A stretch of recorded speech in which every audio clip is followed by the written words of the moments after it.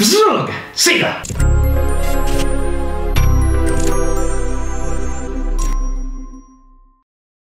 Allora, finalmente posso parlare di un film che sto aspettando con una trepidazione incredibile e che da noi è arrivato parecchio in ritardo, al momento che è uscito da pochi giorni, mentre negli Stati Uniti d'America è uscito a giugno insieme all'Independence Day, eh, come spesso accade siamo gli ultimi a vedere certe perle, però eh, negli ultimi anni è capitato che film molto attesi fossimo tra i primi a vederli, dai. Comunque sia, eh, mi riferisco a pellicola 2016 per la regia di Andrew Stanton con la coregia di Angus MacLean ed è alla ricerca di Dory. Dunque, io uh, non impazzisco per i seguiti di casa Pixar perché se c'è una cosa che adoro di questo particolare studio di animazione e che eh, lo contraddistingue dalla concorrenza rendendo a mio parere il migliore per quanto riguarda eh, l'animazione di stampo occidentale è il fatto che ogni film prodotto da questo studio sia un piccolo sogno che diventa realtà. Sono film originalissimi che partono da idee sensazionali. Ecco, per forza di cose un seguito perde un po' per quanto riguarda il fattore originalità, perché sì, la storia può essere interessantissima, i nuovi personaggi aggiunti intrigantissimi, però difficilmente eh, potrà essere originale quanto un film che parte da un'idea eh, nuova, è logico, uh, però diciamo che la Pixar è riuscita a, a realizzare anche seguiti eh, strepitosi, ad esempio Toy Story 3 secondo me è uno dei film migliori della Pixar ed è il terzo capitolo di una saga, ovvio il primo è totale e assoluto perché è stato importantissimo proprio dal punto di vista dell'animazione, ha sdoganato l'animazione in 3D, da lì in poi eh, gli altri studi si sono adeguati, Disney compresa, con molte difficoltà eh, che penso tutti saprete, si è ripresa solo eh, relativamente di recente e quindi è, è, è lì eh, come un pilastro, però il terzo capitolo dal punto di vista emotivo è qualcosa di devastante perché è cresciuto insieme agli spettatori del primo film, proprio è come se tu vedessi l'evoluzione naturale del primo Toy Story. Cioè, sono riusciti proprio a imbroccarlo, però non ho apprezzato per dire Cars 2. Già il primo non è che ehm, lo ritenessi questo gran filmone, ma ci poteva stare. Il secondo, secondo me, è un film mediocre, nel senso che è perfettamente nella media dei film che escono adesso, quasi non sembra un film Pixar, ma so che molti lo hanno apprezzato. Uh, per fare un altro esempio, Monsters University a me era piaciuto, però anche lì non era secondo me a livello degli standard a cui la Pixar ci ha abituato negli ultimi anni, perché ad esempio era un sequel che non teneva conto di tante cose che venivano dette nel film precedente, c'erano delle incongruenze mostruose e la Pixar di solito fa attenzione a certe cose.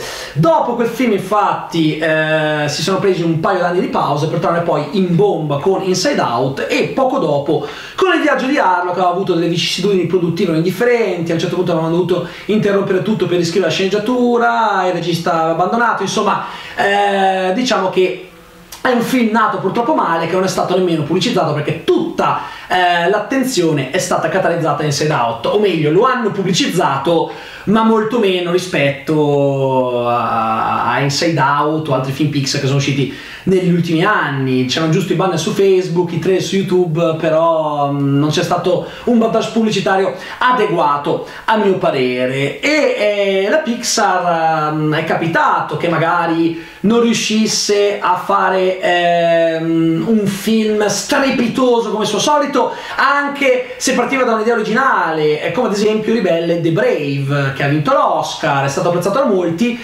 Secondo me non è sto gran filmone che tutti dicono, mostruoso dal punto di vista grafico, ma in sé, secondo me è un film che ci può stare, ma ripeto, uh, gli standard Pixar per me sono molto più alti di così. Comunque sia, ciò premesso, io non sapevo che cosa aspettarmi dalla ricerca di Dory, perché da una parte Ero contentissimo di rivedere i personaggi che avevo amato nel primo film che era diretto da Stanton, eh, con la corregia però di eh, Lee Unkrich, eh, che qui invece è stata affidata per l'appunto a Angus MacLean.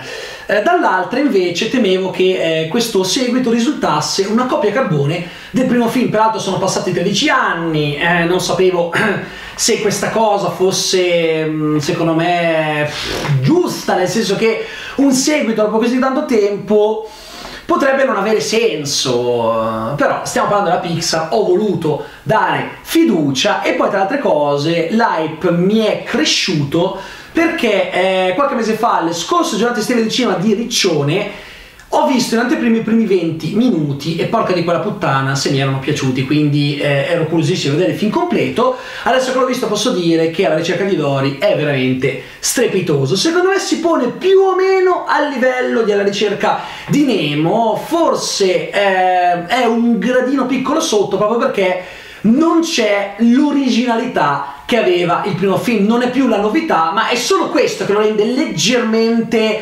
eh, meno bello dell'altro, perché comunque è migliorata la grafica, le animazioni sono qualcosa di pazzesco e i personaggi nuovi che sono stati introdotti a me hanno fatto letteralmente impazzire, a partire da Hank il polpo che mi rimarrà sempre nel cuore. È un personaggio tipico ma che ha un'evoluzione lenta eh, e bellissima anche se prevedibile, mi, mi, mi, è piaciuto veramente tanto, poi aveva questa espressività incredibile nonostante di fatto non avesse la bocca perché è un polpo quindi aveva solo gli occhi, eh, la bocca ce l'ha ma non, non, la si vede, poi ha anche eh, una particolarità che non vi voglio dire e eh, un'altra domanda che mi ero posto era: ma un film con protagonista Dory non risulterà pesante? Perché di fatto nel primo film Dory era uh, un comprimario. Uh, sapete che alla ricerca di Nemo vedeva come protagonista vero e proprio Marlin che eh, cercava il figlio scomparso insieme a Dory che aveva incontrato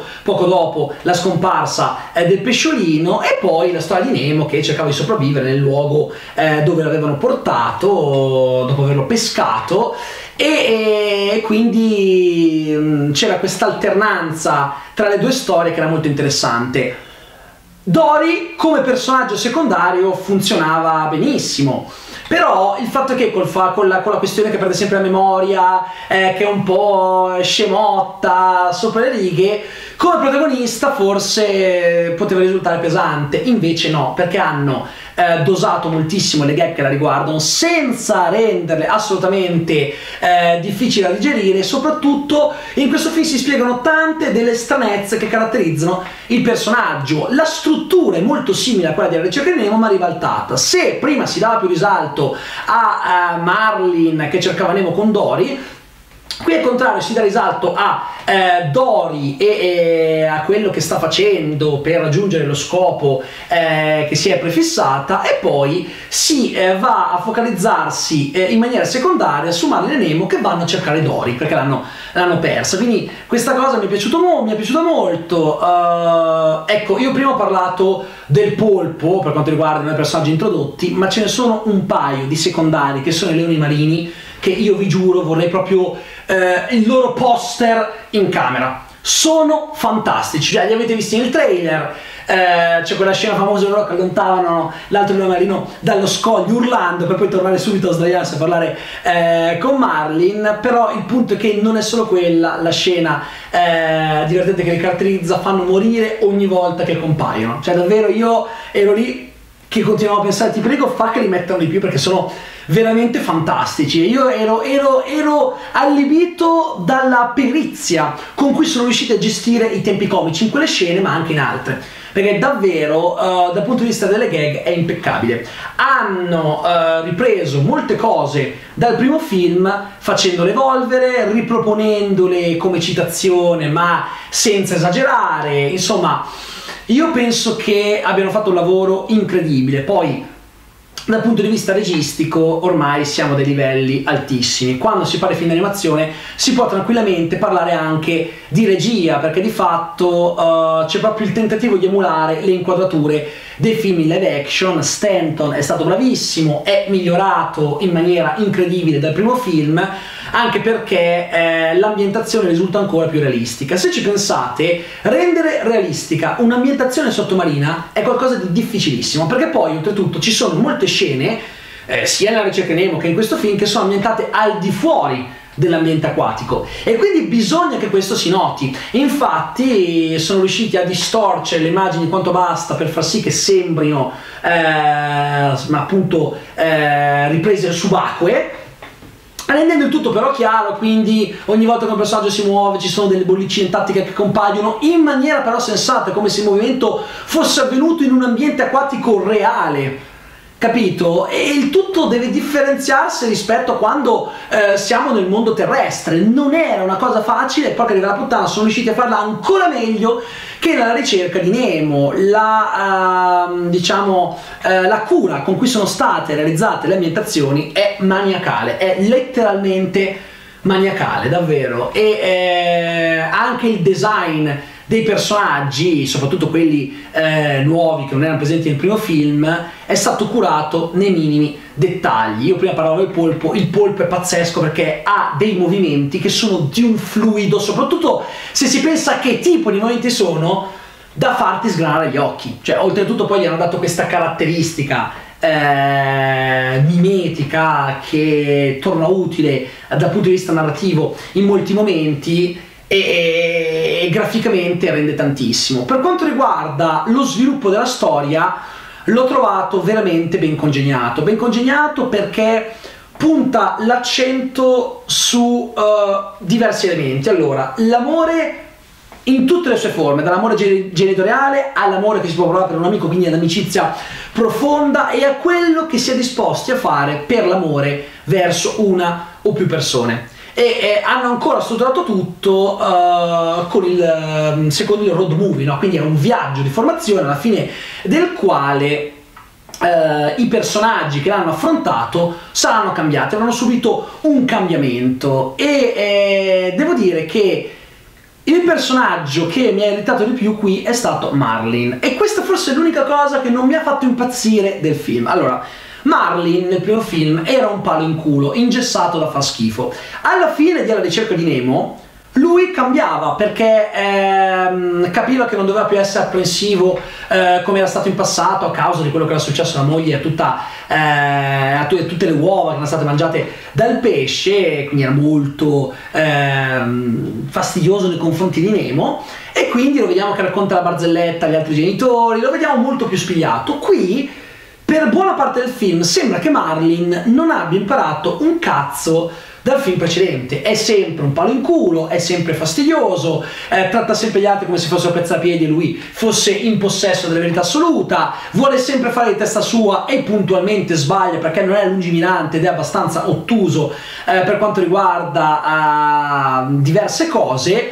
E allora lì mi sono chiesto, ma quindi l'evoluzione del personaggio dove cavolo è stata? E sì che di tanto in tanto eh, vanno a citare alcune cose eh, che sono successe nel film precedente, quindi si ricordano perché questo film alla ricerca di Dory è ambientato un anno dopo alla ricerca di Nemo e sì, se ve lo state chiedendo sarebbe eh, di gran lunga meglio se aveste visto uh, alla ricerca di Nemo, è uno di quei film fortemente collegati al capitolo precedente e che anche solo per la conoscenza del personaggio protagonista è necessaria la visione. È, mm, per forza, se non avete visto Nemo, sì, potete capire lo stesso, non è che non capite, però vi perdete tante di quelle cose che secondo me è meglio se la ricerca di Nemo ve lo andate a vedere. Tra l'altro, se non sbaglio, c'era una promozione mh, mm, sul fatto che eh, davano il, long video della ricerca di Nemo se si prendeva il biglietto della ricerca di Doris. Non mi ricordo bene come funziona, c'era una cosa di questo tipo in alcuni cinema.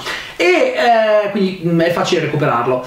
Quindi, sinceramente, eh, questa cosa non l'ho capita perché rendere Marlin ancora così fastidioso. Capisco che è carattere, per l'amor del cielo, però sembra che non abbia vissuto le avventure che ha vissuto nel, in Alla ricerca di Nemo, capito?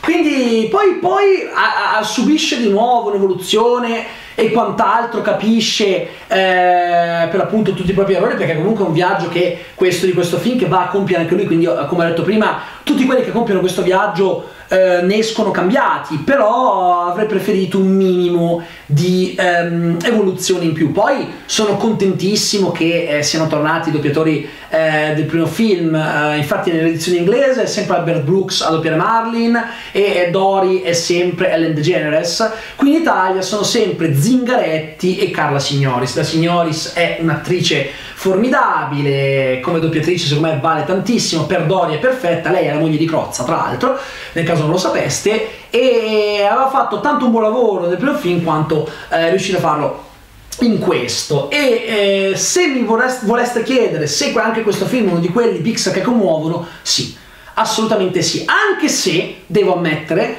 l'ho trovato un po' più prevedibile degli altri, con degli insegnamenti sicuramente profondi, ma un pochino più banalotti. Ad esempio, io ho apprezzato tantissimo l'insegnamento che era stato impartito da Inside Out, insegnamento che raramente si trova in un film destinato a un pubblico di eh, bambini e ragazzi che poi si amplia anche verso gli adulti. Sappiamo che i film Pixar possono essere tranquillamente fruiti tanto dai giovani quanto da quelli che eh, giovanissimi non sono più. Infatti io sono andato a vedere il film ed era pieno di eh, persone che raggiungevano anche i 60 anni d'età eh, visibilmente.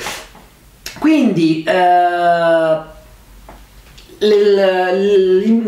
diciamo, il messaggio di Inside Out era quello che la tristezza fa parte della vita. Bisogna abbracciarla, non bisogna rifugirla perché in certi momenti è giusto essere tristi, ci sta essere tristi, non bisogna per forza essere sempre allegri, non si può essere sempre allegri e questa è una cosa che un bambino è giusto che impari. Quindi è un film che rivalutava l'importanza della tristezza nella nostra vita. Non, quindi non da vedere come qualcosa di per forza eh, malvagio. Ovvio, se uno eh, è perennemente triste e sta male, quello è un altro discorso. Poi sta parlando della tristezza nei momenti giusti, nei momenti in cui è giusto essere tristi. Quindi era un messaggio che, che poi è stato veicolato in maniera ancora forse più profonda dal Piccolo Principe, che però non è Pixar, il film uscito l'anno scorso, che a me è piaciuto da morire e quindi dicevo, questo uh, alla ricerca di Dori um, impartisce messaggi sull'amore e l'amicizia molto importanti, forse però un po' meno uh, originali, un po' meno uh, mai visti, ok? Quindi qualcosa di, di, già visto, però realizzato in maniera impeccabile. Non è secondo me tra i migliori film Pixar mai usciti, però è comunque pregevole, è comunque un film dello studio di tutto rispetto. Diciamo che eh, dopo uh, quel piccolo svarioncino uh, degli ultimi tempi, ecco che uh, si sono ripresi alla stragrande. Dopo Ribelle, Monsters University sono partiti in bombissima, per cui non temete, la Pixar è tornata in pompa magna. Quindi mi è piaciuta molto la storia perché Dory eh, ha un passato oscuro, nel senso, quando abbiamo visto la ricerca di Nemo, tutti ci siamo chiesti, ma Dory, tutte queste cose che sa, queste bizzarrie che ha imparato, dove le ha imparate? Cioè, chi è lei? Non ha una famiglia, quindi si cerca di ripercorrere le origini di questo personaggio straordinario e eh, il film lo fa in una maniera abbastanza peculiare attraverso questi flashback improvvisi che però sono tenerissimi perché la piccola Dory è qualcosa che ti scioglie il cuore, è, è fantastico perché capisci che lei non è mai cambiata da allora, cioè la chiave del personaggio sta nel fatto che l'unica cosa che cambia dalla Dory piccina alla Dory adulta è la voce e l'aspetto, perché quando è piccola questi occhiali giganteschi, da grande lei non ha perso l'ingenuità che ha sempre avuto non è mai mai eh, cioè nel senso non è cambiata di carattere ma è maturata sicuramente. Il viaggio che ha compiuto con Marlin eh, l'ha fatta crescere le ha fatto capire delle cose di se stessa però di fatto la sua mentalità il suo modo di essere non è mai cambiato da quando era piccolina. E questa cosa è bellissima perché Dory è un personaggio puro è un personaggio che si pone al di sopra di tutti gli altri perché ha un modo di pensare che non segue i normali schemi di pensiero delle persone logiche e che quindi la rende straordinaria. La rende veramente straordinaria, già lo era nel primo film, in questo lo è ancora di più. Oltretutto io non credevo che avrebbero spiegato alcune sue eh, cose strane e quando lo fanno, beh, eh, fa morire da ridere, perché poi comunque eh, è anche bello che abbiano preso come ambientazione, l'avete visto anche dal trailer, la questione del parco oceanografico, no? Tante cose nella versione italiana la voce del parco, quella che si diffonde dagli altoparlanti, è quella di Licia Colò che fondamentalmente interpreta se stessa, che dice ciao, sono Licia Colò capite? Ci sta, ci sta perché di fatto usa il suo solito tono documentaristico professionale e in lingua originale invece eh, la voce è quella di Sigourney Weaver che è sempre la voce di se stessa, sempre Sigourney Weaver che dà eh, il benvenuto eh, ai visitatori del parco e eh, è bello perché comunque eh, hanno utilizzato alcuni stereotipi mh, mm, alcune cose entrate nell'immaginario collettivo quando si tratta di parchi di divertimento eccetera e eh, li hanno utilizzati in maniera secondo me veramente simpatica. C'è una scena in particolare che riguarda uh, il polpo Hank e Dory che secondo me fa ammazzare da ridere perché è una cosa effettivamente realistica. In generale comunque l'ambientazione del parco è stata resa veramente bene perché comunque eh, è stato anche un modo per presentare in maniera alternativa altri personaggi, quindi non più solo i pesci dell'oceano ma anche eh, altre creature acquatiche che per l'appunto sono ospiti in questo posto. E per quanto riguarda il doppiaggio italiano eh, hanno utilizzato voci personaggi famosi ma in maniera secondo me eh, intelligente perché eh, alcune manco si riconoscono. Ad esempio non vorrei dire una cazzata ma c'è questo pesce eh, che dice solo ue ue guarda dove vai ma dice solo questo che secondo me è Frank Matano sono abbastanza convinto fosse lui, ma dice solo esclusivamente questa frase un paio di volte. Non so se sia per via della sua apparizione mm, vocale in Zotropolis, che, in cui doppiava la donnola, Donnolesi. Anche lì aveva pochissime battute, quindi non è che rovinasse il film o cose del genere, nonostante o lui non è un doppiatore professionista, quindi si nota, si nota tantissimo. Però poteva ancora ancora starci e quindi magari per questione di contratto l'hanno piazzato qui in un cameo forse perché era piaciuto non lo so.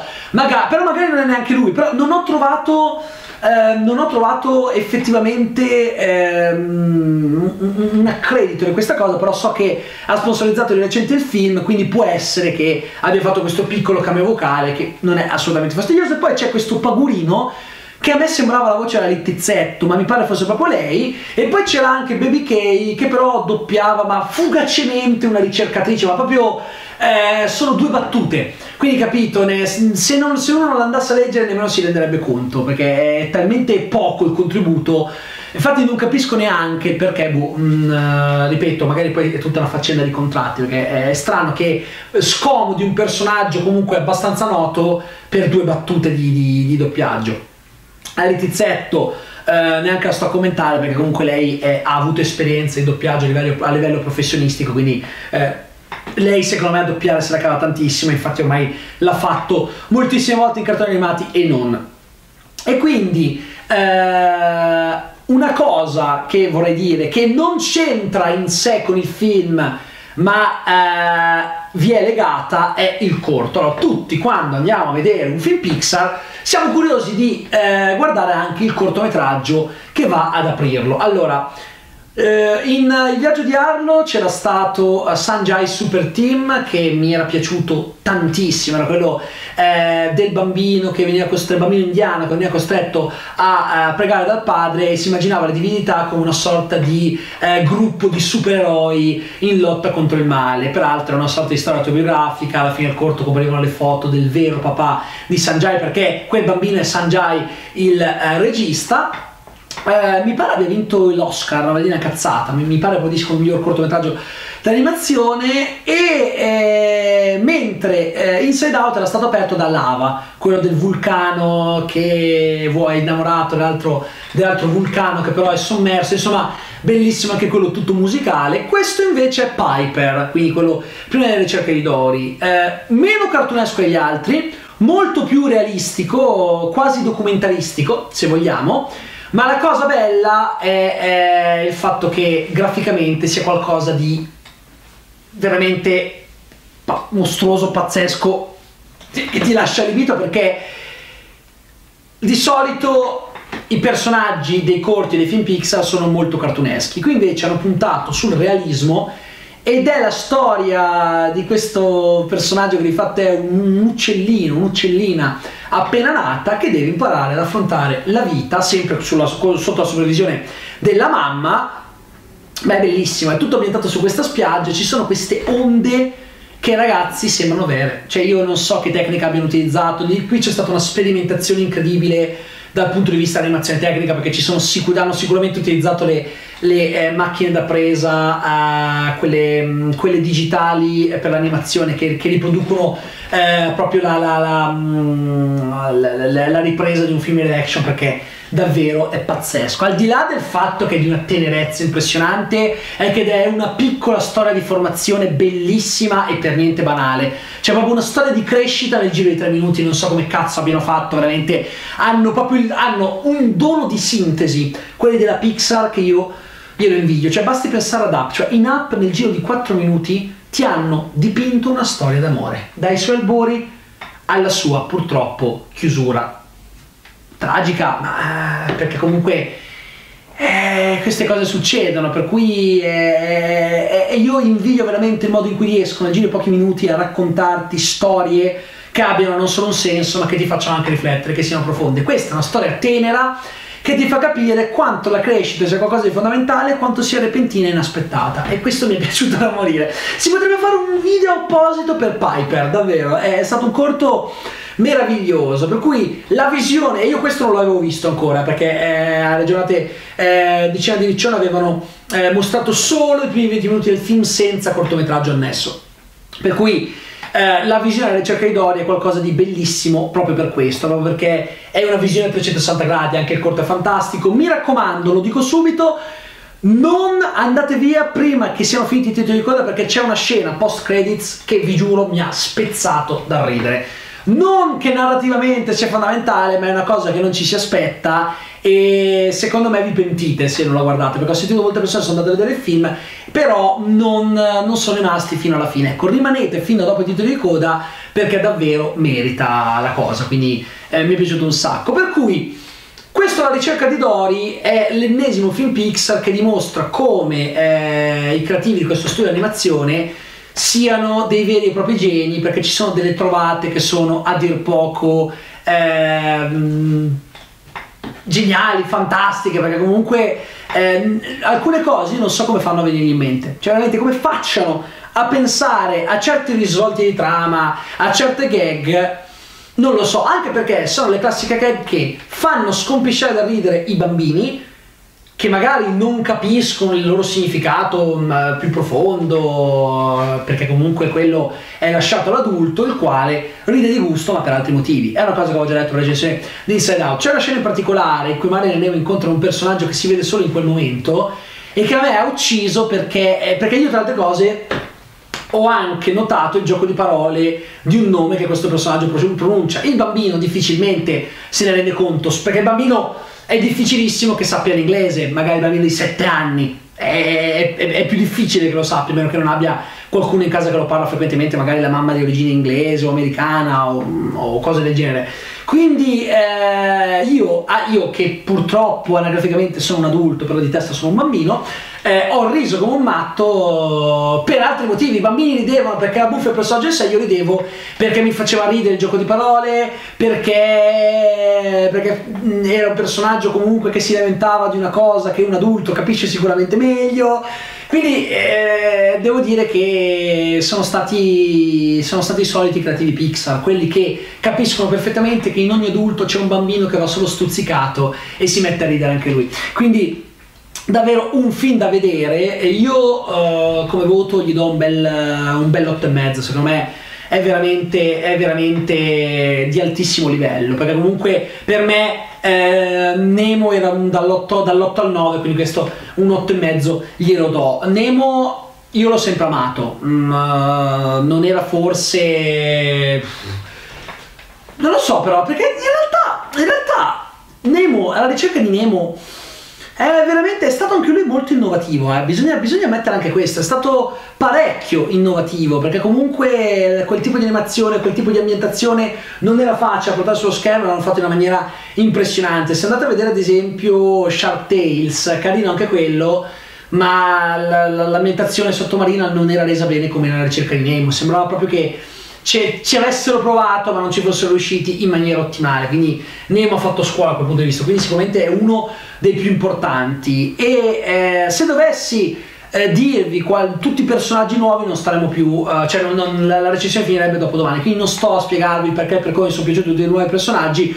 Ve lo lascio scoprire anche perché non voglio spoilerarveli. Non voglio stare a anche perché non c'è bisogno di stare a, a, a, analizzare la psicologia perché di fatto sono personaggi che magari come anche nella ricerca di Nemo compaiono per poco ma sono abbastanza incisivi. Quindi vi, ve li lascio scoprire nel film sappiate solo che ne incontrerete alcuni che sono veramente pazzeschi. E eh, dico solo questo Gerald è il mio nuovo idolo personale un personaggio che non dice una mazza fa solo versi e, e, ed è già diventato il tormentone della settimana, cioè Gerald nel cuore per sempre.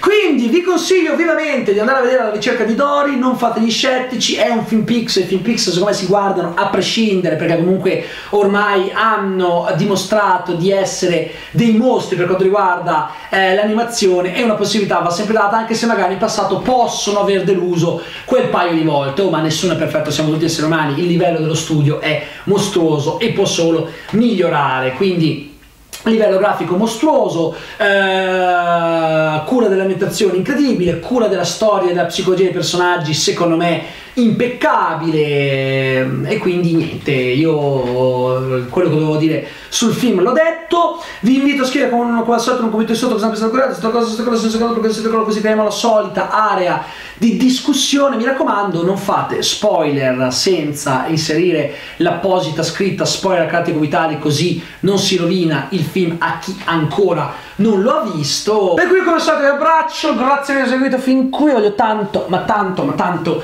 bene. Eh, quindi io aspetto troppo noi ci vediamo al prossimo vlog altrimenti se volete sapere la mia più specifico e vi interessa ehm, capire un po' cosa ho pensato di alcune scene vi aspetto da 3 2 1 allora innanzitutto i leoni marini. Sono stati fantastici. Cioè, a parte la scena del trailer loro che cacciano via il leone marino Gerald dallo scoglio in quel modo eh, cattivissimo per poi tornare eh, sdraiate come se niente fosse, la gag eh, di Gerald che cerca di rubare lo scoglio ricorre in maniera assolutamente non fastidiosa perché ogni volta c'è una variante e io morivo ogni volta. Quando gli dicono dacci il secchiello dai vieni qui sullo scoglio ti facciamo venire. Arriva gli prende il secchiello tempo scaduto lo buttano giù. E, e, e, quindi mi ha fatto ridere quello così come mi ha ammazzato la questione del, del, del, dell'uccello Becky, quello che porta i pesci nel secchiello, la cosa dell'imprinting, la cosa che sia sbarellatissima, che abbia gli occhi che girano dove vuole, insomma, quel personaggio non dice una parola, fa solo versi, ma è meraviglioso. E poi eh, una cosa che non ho detto nella parte non spoiler perché non volevo dirvi nulla, anche perché è una mia teoria, anche se vedo mh, la cosa come abbastanza evidente è il fatto che alla fine del film Marlin sembri nutrire un sentimento verso Dory che va oltre la semplice amicizia. Sembra effettivamente interessato da un punto di vista amoroso. Ora, magari è solo una mia impressione, ma secondo me è abbastanza lì da vedere. Però non ce la vedo Dory che asseconda un eventuale corteggiamento di Marlin, per il semplice motivo che è un personaggio talmente puro e semplice che secondo me non prova sentimenti eh, che siano diversi dall'amicizia per Marlin o per qualunque altro esemplare maschile. Magari poi mi sbaglio, eh, però mi farebbe strano vedere che Marlin ha messo su famiglia con Dory. Per l'amor del cielo, vengono presentati come se fossero un nuovo nucleo familiare, Dory, Marlin e Nemo. Questo è vero. Però non lo so, mi farebbe strano perché questa purezza di Dory contrasterebbe con un eventuale eh, legame amoroso con Marlin. A me Dory piace così com'è, ingenua, eh, è l'amica Dori, non è l'amante, capito? Però non lo so, è, è, solo una cosa che mi è venuta in mente. E eh, parlando di personaggi secondari, vabbè, è il Paul Pam che mi è piaciuto perché perché fondamentalmente è un burbero che vuole stare da solo, ha passato dei brutti momenti nell'oceano di cui non parla e sappiamo che ha perso un tentacolo. Ok, quindi ha sette tentacoli e non otto.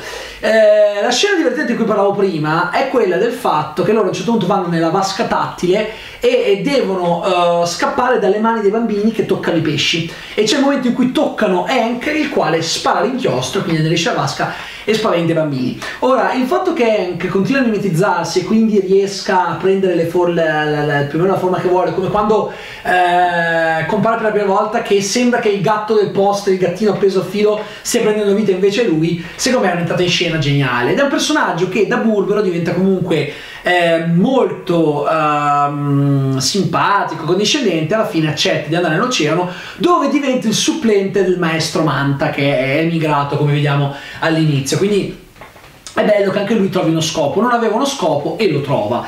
La questione del ricongiungimento dei genitori con Dori è tenerissima, nel senso che il fatto che loro per tutto quel tempo l'abbiano aspettata, abbiano lasciato la scena di conchiglie, non è una cosa imprevedibile, ripeto, questo film mi, è, mi è piaciuto un po' meno di Inside Out perché Inside Out secondo me proponeva delle tematiche un po' nuove. Questo essendo un seguito proponeva tematiche magari non nuovissime però ci sta cioè ne capito ci stanno come tematiche. Quindi il fatto che lei ritrovi i genitori, con la questione che avevano fatto queste scene di conchiglie gigantesche, mi è piaciuto, è una scena molto toccante, così come la questione del camion, no? con Hank che si mette a guidare il camion che li sta portando a Cleveland per, per buttarlo di nuovo nell'oceano, la scena in cui il camion sfonda la, la, gli alberi, sta cadendo nell'acqua con eh, Wonderful World è fantastica, cioè io l'ho adorata con tutto il rallentatore, eh, quel momento è stato veramente carino, quindi devo dire che si sono veramente impegnati per mettere i personaggi in situazioni che fossero eh, effettivamente molto simpatiche. Quando Marley e Nemo parlano con la conchigliona, Ecco lì veramente è, è, è, stato un what the fuck continuo per un minuto. Perché parlano con questa conchiglia che non, non, si sa chi è. Viene dal nulla e dice: Oh, vi prego, parlatemi, raccontatemi. Come quella volta che io, io sono. Una volta sono uscito con un'ostica. Oh, però eh, le ostiche ti mollano e basta. Oddio, Shelly, perché mi ha lasciato? La cosa è che Shelly sia un nome che effettivamente esiste, ma che eh, richiami Shell, che vuol dire guscio in, uh, in, inglese, quindi è come se fosse scegli nel senso di guscioso, essendo un mollusco, a me ha fatto morire. Poi il fatto che dal nulla comprare questo personaggio che si mette a piangere in maniera logorroica delle sue avventure amorose, a me ha ammazzato perché non aveva proprio nessun senso di esistere questa cosa. Cioè, capito? Proprio per il fatto che non te lo aspetti, che non ha senso narrativamente lo rende geniale perché è un momento comico what the fuck con i due pesci che guardano questo e che dicono chi cazzo è questo cioè capito proprio un momento assurdo che io ho apprezzato e che mi ha fatto molto molto ridere. Così come è bello il fatto che abbiano spiegato, ad esempio, il, come Dory abbia conosciuto Marlin, cioè noi vediamo Marlin che incontra Dory dal nulla, ma ci siamo mai chiesti Dory effettivamente cosa ha fatto prima? Io sì. E lei ha passato tutta la sua vita a cercare i genitori, cioè quello che lei stava cercando erano i genitori, non ha fatto altro che vagare cercando di ricordare loro. Capito? E quando ho incontrato Marlin stava facendo esattamente quello. E io questa cosa l'ho, l'ho trovata bellissima perché vuol dire, eh, dimostravo che lei non è cambiata come personaggio, come dicevo prima. E poi, ad esempio, il fatto che eh, nella vasca la sua migliore amica, quando era la migliore amica di condotta quando erano al parco oceanico, fosse eh, la, la, la, lo squalo balena, ti fa capire il perché lei dice di saper parlare serpentese. E scusate il serpentese, cazzo dico, balenese. E Harry Potter mi ha distrutto la vita, scusate sa parlare il balenese. Capito? Questa cosa è divertente. Poi sa un sacco di nozioni che, che, conosce perché se le ricorda inconsciamente da quando le vedeva scritte sui muri del proprio oceanico da, da, dal vetro della vasca. Quindi è tutto veramente ben fatto sul serio. Per cui questo è quello che mi ha colpito maggiormente di Alla ricerca di Dolph. Fatemi sapere voi in un commento eh, il vostro parere più specifico, sempre contrassegnando il commento con l'istituto a spoiler carte cubitali nel caso in cui eh, vogliate farne, così non roviniamo il film a chi ancora non l'ha visto. Io ancora una volta vi abbraccio. Ari, dai, dai, abbraccione bello bello. Spero troppo. Noi ci vediamo al prossimo Movie Vlog.